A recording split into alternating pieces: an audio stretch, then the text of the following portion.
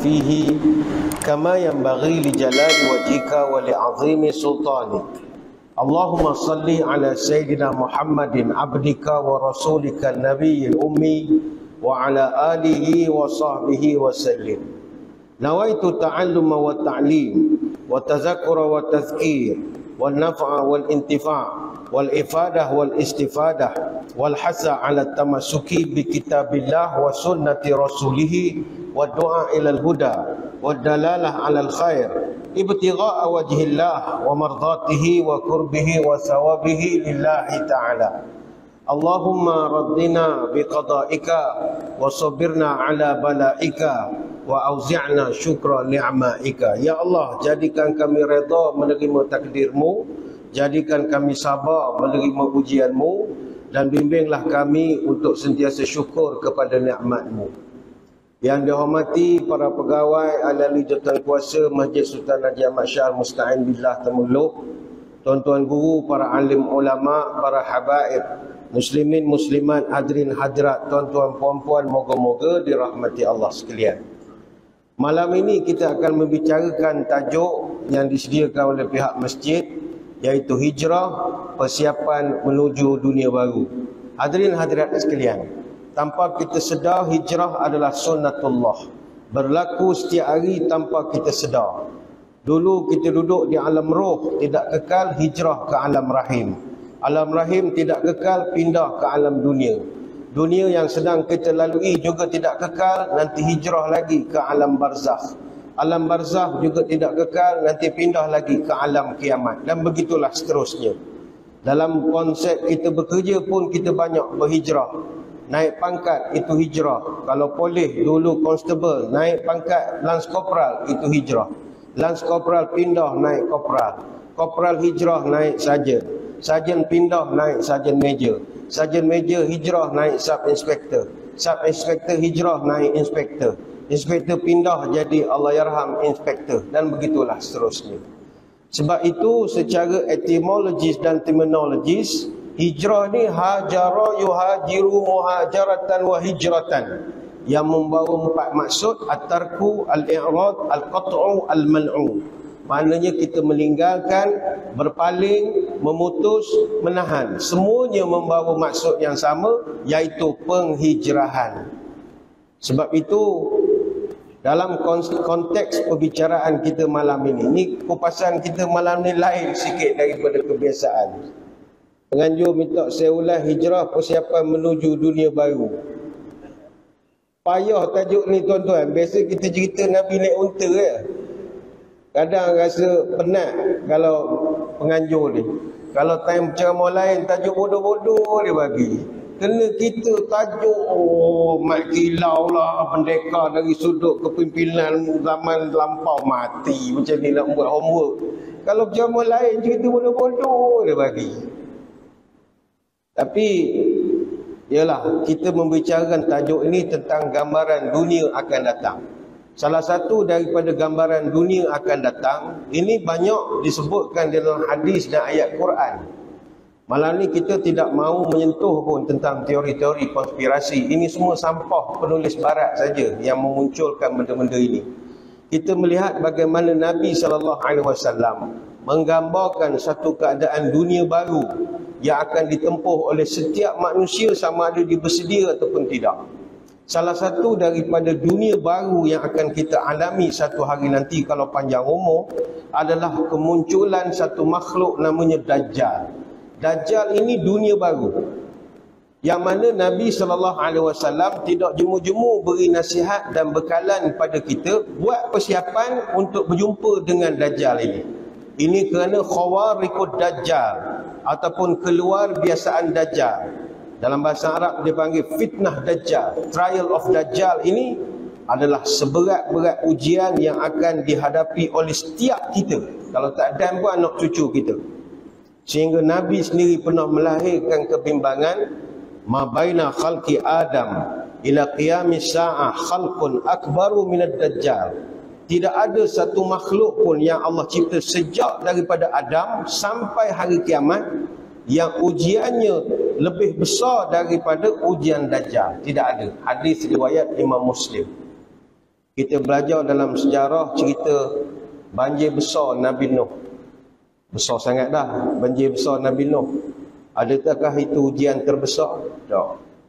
Nabi kata itu kecil. Dajjal ini fitnah terbesar dan terberat yang akan melanda umat manusia. Apa sebab? Kerana Allah berikan kepada Dajjal benda-benda yang luar biasa yang memukau dan membingungkan akal fikiran. Dalam satu hadis, benda ni saya ingat dah ada dah yang berlaku. Tiga tahun sebelum Nabi, uh, sebelum Dajjal keluar, dalam satu hadis Nabi pernah bercerita sebagaimana yang didengari oleh Abu Umamah Al-Bahili radhiyallahu anhu. Kata Abu Umamah, Nabi satu hari bercerita tentang Dajjal. Dan Nabi minta kita semua buat persiapan. Di penghujung ceramahnya Nabi sebut Nabi sebut wa inna qabla khurujid dajjal salasu sanawatin shidad. Sesungguhnya sebelum kemunculan dajjal dunia akan mengalami kesengsaraan selama tiga tahun. Huru-hara dunia ini. Yusibun nas fiha jam'un syadid. Kamu akan dapati kebuluran merata-rata krisis kebuluran, krisis makanan, krisis bekalan asas. Ya'murullah as-sama'u fi sanatil ula an tahbisa sulusa matriha wa ya'murul arda an tahbisa sulusu nabatiha. Allah memerintahkan langit pada tahun pertama supaya kurangkan hujan satu per tiga dan bumi akan kurangkan hasilnya sebanyak satu per tiga fala tabqa zata dhilfin illa halakat illa masya Allah selepas daripada itu tidak ada lagi haiwan yang banyak haiwan dah makin bekalan makin kurang melainkan beberapa ekor saja yang akan wujud ini hadis dalam sunan Ibnu Majah sahih Ibnu Khuzaimah dan direkodkan dalam Mustadrak Al-Hakim kata sebahagian ulama ketika itulah seluruh dunia akan kembali ke zaman batu. Kita akan balik semula ke zaman tori balik. Sebab itu kalau bincang tajuk malam ini hijrah menuju dunia baru, salah satu perkara kita kena hijrahkan anak cucu kita adalah kita dah kena mula didik anak cucu kita belajar ilmu survival.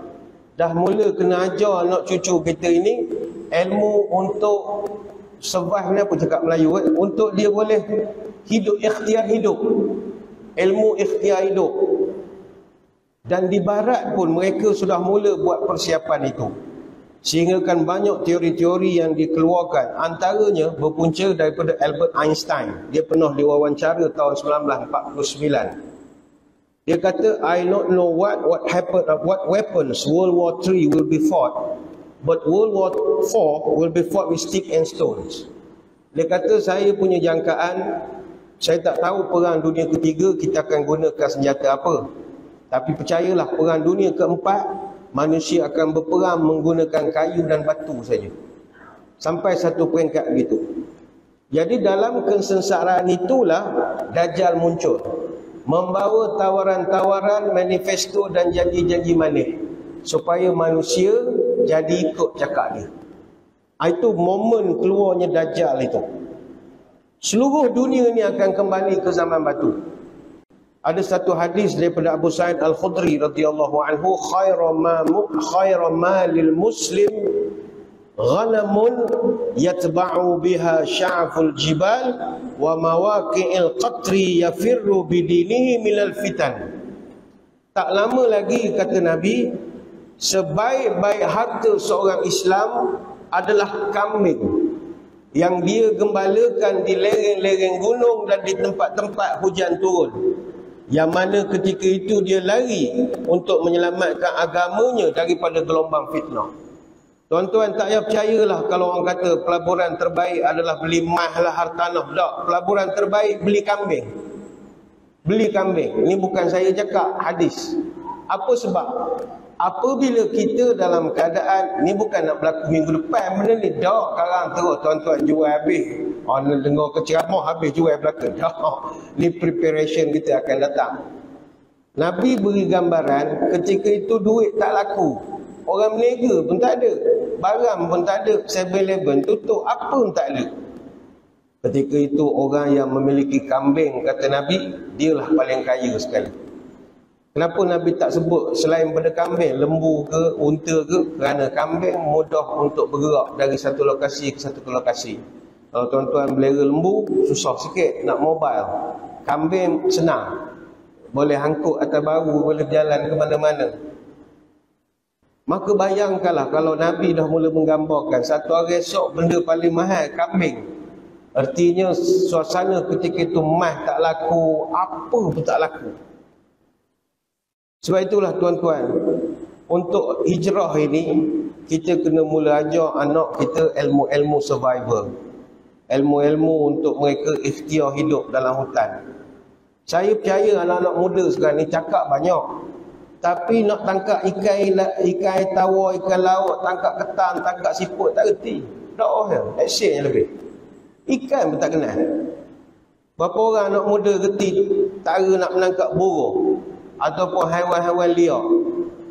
Adakah orang muda kita kenal tumbuh-tumbuhan liar yang boleh dimakan? Tak kenal. Ulam pun tak kenal. Adakah anak muda kita reti teknik nak buat gula? Nak membuat garam? Nak buat minyak masak? Saya percaya jangan anak muda. Kita hak tak berapa nak muda pun tak reti. Minyak masak kedai. Semua beli kedai. Temelut tak ada air, semua tak mandi. Tak reti. Air tak reti nak mencari air. Telaga tak pernah buat. Tak ada persiapan langsung. Saya kira kita dah kena mula belajar teknik buat ikan masin, ikan salai, udang kering, buat perkasam untuk nak stok kita. Kita dah mula kena belajar kenal buah-buah hutan yang boleh dimakan. Kena belajar teknik masak dalam keadaan darurat. Kena belajar cara nak buat periuk tanah liat kena belajar macam mana nak buat arang, buat arang pun tak apa reti.